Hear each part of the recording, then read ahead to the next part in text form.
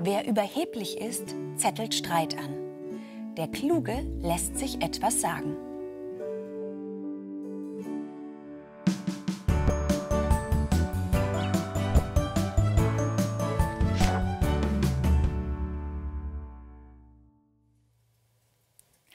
Herzlich willkommen bei Emma, Rosalie, Paul, Otto und Nulla.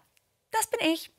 Schön, dass du wieder da bist. Ich habe auch die nächste Geschichte und lege sofort los. Ich weiß es besser.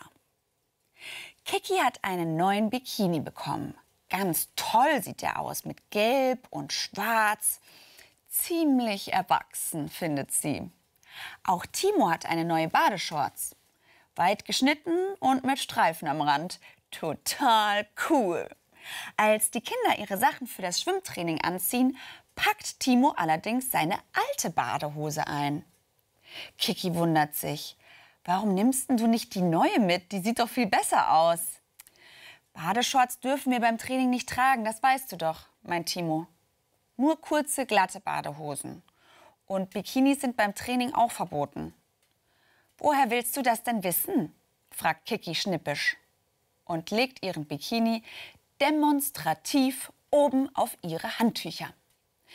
Weil Charlotte letzte Woche nicht mitschwimmen durfte und die hatte ein Bikini an.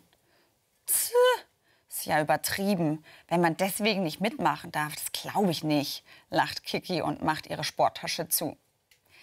Ich würde an deiner Stelle noch den Sportbadeanzug einpacken, warnt Timo und geht zum Auto.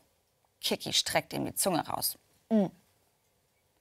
Als sie im Auto sitzen, ist Kiki genervt.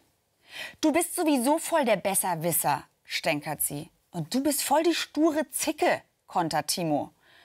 Als sie beim Schwimmbad aussteigen, wartet Kiki nicht auf Timo, sondern rennt schnell vor zur Mädchenumkleidekabine.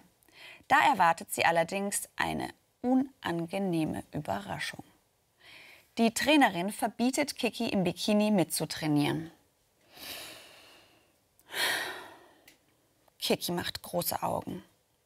Das sind die Regeln, die ihr alle auf einem Blatt mit nach Hause bekommen habt. Tut mir leid. Die ganze Stunde muss Kiki auf der Bank zuschauen, wie die anderen schwimmen. Hm. Zum Glück lacht Timo sie nicht aus.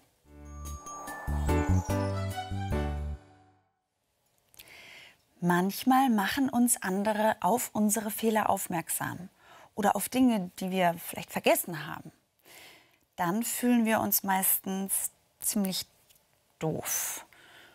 Es ist ja auch nicht immer so einfach zuzugeben, dass der andere recht hat. Aber es bringt uns große Vorteile. Und wisst ihr, was wichtig ist? Dass wir den anderen freundlich auf Fehler aufmerksam machen. Nicht von oben herab oder fies. Denn jeder macht mal Fehler. Bis morgen. Hm?